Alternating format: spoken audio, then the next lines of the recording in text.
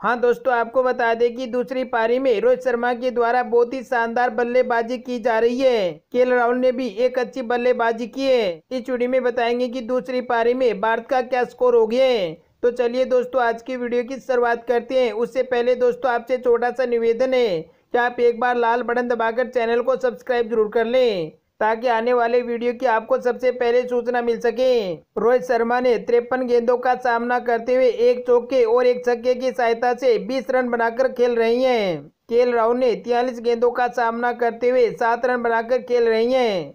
भारत ने दूसरी पारी में 16 ओवर खेलते हुए ज़ीरो विकेट के नुकसान पर 28 रन बना लिए अब भारत है, तीन रन इंग्लैंड से पीछे चल रहे हैं। हाँ दोस्तों, आपको बता दें कि रोहित शर्मा और के राहुल ने सितानवे गेंदों में 28 रनों की पार्टनरशिप कर ली है। रोहित शर्मा की बल्लेबाजी बहुत ही अच्छी चल रही है। रोहित शर्मा ने एक छक्का लगाकर ये साबित कर दिया कि मैं यहाँ पर आज अच्छी बल्लेबाजी करूँगा और सौ रन बनाऊँगा।